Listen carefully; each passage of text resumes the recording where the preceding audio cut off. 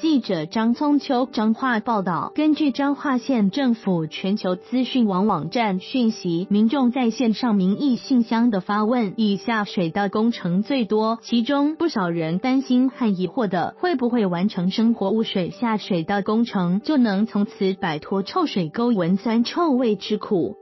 有民众形容说，彰化臭水沟一堆，彰化人闻臭闻怕了。那天真的能看到干净水质的排水沟，踏出家门闻不到臭水沟飘散出来臭味道，这才是百姓真正能感受到的德政，因为跟人每天生活息息相关啊。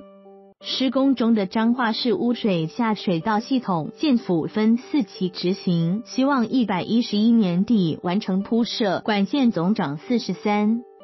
零四一公里，家庭生活废水油管件引流入水资源回收中心处理，每日约可处理一万五千吨家庭生活污水。不少人注意工程进度，关心彰化市水资源回收中心完成建制后，会不会还是继续有臭味？而用户接管完成后，对居家生活环境帮助多大？还有民众担心水资源回收中心日后启用后，会不会反倒带来噪音和更大的臭味？对此，县府水利资源处表示，用户接管完成后，生活污水不再排入雨水沟，雨水沟不再发臭，不会滋生蚊虫，居家环境品质会获得改善。